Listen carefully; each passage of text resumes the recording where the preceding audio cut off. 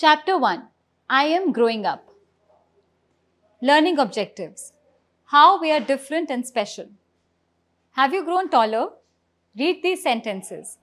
Write the number against the correct pictures given below. I can now reach the cookie jar kept on the kitchen slab.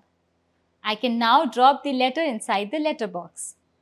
I can now write on the blackboard easily. I can now hang my towel on the peg. My clothes have become short now. Dugu, eat properly so that you can grow well. Mom, I finished my food every time. I have grown bigger. Have these pictures helped you to understand that you have grown up? Take your answer. Hina opens her cupboard to take out her favorite dress.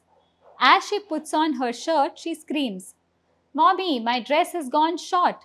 What will I wear now? The dress has not gone short.